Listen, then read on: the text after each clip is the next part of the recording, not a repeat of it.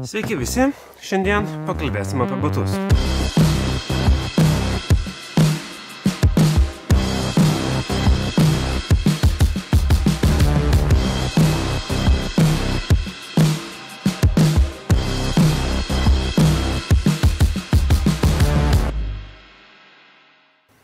Jeigu jūs plaukit vandenlentį ir planuojate įsigyti savo įrangą, pataikite puikią vietą.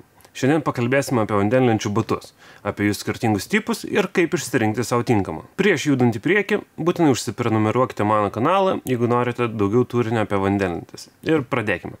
Pradėkime nuo skirtingų vandenlenčių batų tipų. Ko gero labiausiai pasimamas skirtumas tarp vandenlenčių batų tai yra pirštai. Mes turime atvirais pirštais ir uždarais pirštais. Atvirų pirštų batai yra dažniausiai naudojami vandenlenčių parkuose skirti nuomai kadangi batas dėl atvirų pirštų gali talpinti kelis skirtingus pėdos dydžius. Perkant atvirų pirštų batus asmeniniam naudojimui, labai gerai yra tai, kad jais galima dalintis su savo šeimos nariais arba draugais. Iki kol jų pėdos dydis yra šiek tiek panašus. Šie batai ne taip smarkiai spaudžia koją, jie yra laisvesni, dėl to lenta kontroliuojasi šiek tiek laisviau. Antras batų tipas yra uždarais pirštais. Šie batai daug geriau spaudžia pėdą, dėl to mes gauname daug daugiau kontrolės ant vandens. Šiais batais dalintis jau nebepavyks, kadangi jie tinka tik tai vienai pėdai. Tačiau perkant įrangą asmeniniam naudojimui, dauguma renkasi batus uždarais pirštais. Pakalbėkime apie batų užsegimą. Turime velcro lipdukus, klasikinius batraiščius, guminės arba medžiaginės juostelės bei sisteminius batus. Pirmasis variantas yra velcro lipdukai. Jie dažniausiai yra naudojami vandenlenčių parkuose, dėl to nes juos lengva atsisekti ir greitai užsisekti. Kritimo atveju jie labai lengvai atsisega, dėl to yra išvengiama čiurnos traumų. Bataršiai dažniausiai sutinkamas, paprastas ir garantuojantis gerą kojos užspaudimo būdas.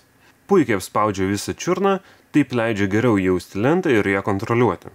Trečiasis užsegimo variantas tai yra sisteminiai batai, arba dar tiesiog vadiname sistemomis. Šis užsegimo būdas yra labai panašus į snieglenčių, taip galima dar tiksliau reguliuoti pėdos ir pirštų spaudimą, ko pasakoje mes gauname daugiau kontrolės ant vandens. Dar vienas sisteminių batų privalumas tai yra galimybė dalintis lenta, kadangi apkustai yra tinkami skirtingų dydžių batai. Na ir ketvirtasis variantas yra guminės arba medžiaginės juostelės, jos ypač populiarėja pastaraisiais sezonais, dažniausiai juos eina per tris skirtingas vietas ir taip leidžia suteikti tikslesnį ir smarkesnį spaudimą kojai. Pasakyti, jog vienas užsegimo būdas yra pranašesnis už kitą negalėčiau, kadangi jie yra skirti skirtingom situacijom ir tai yra visiškai asmeninis žmogaus pasirinkimo reikalas. Dar vienas dalykas, į ką reikėtų atkreipti dėmesį, tai yra vidinis batas. Sisteminių batų atveju tai yra batas, kuris įsistato į apkaustą vidų.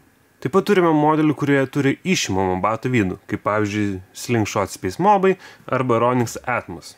Šios batus galima vadinti hybridais tarp klasikinių batų ir sisteminių, kadangi jie pilnai apspaudžia koją ir suteikia kontrolę ant vandens, bet taip pat suteikia išimamą batą, kuriuo galima vaikščioti per žemę, kas yra labai patogu mūsų klimatui, ypač rudenį ir pavasarį. Pakalbėkime apie batų tvirtinimą prie lentos.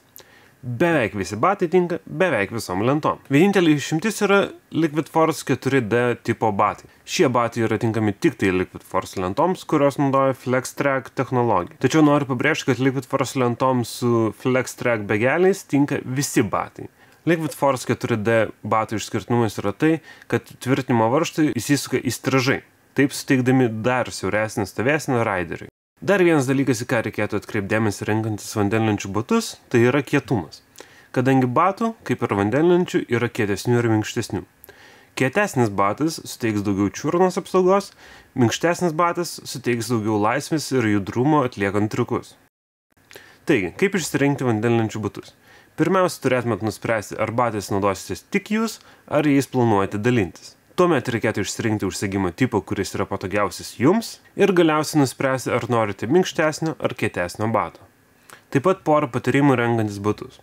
Batus rinkitės tokius, kurie labai gerai apspaudžia jūsų koją, kadangi einant laikui batas šiek tiek išsitampa ir tampa laisvesnis.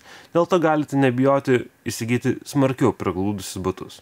Pirmas kelias savaitės bato padas gali atrodyti nepatogus, tačiau duokite jiems laiko. Kaip ir visų batų, taip ir vandenlenčių batų padas išsispaudžia ir prisitaiko prie individualios pėdos. Visų svarbiausia renkantis batus yra patogumas. Jeigu su batais jaučiatės patogiai, ko gero jie jums tinkami.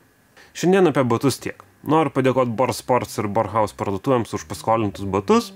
Tikiuosi mano patarimai bus jums naudingi ir susitiksim ant vandens.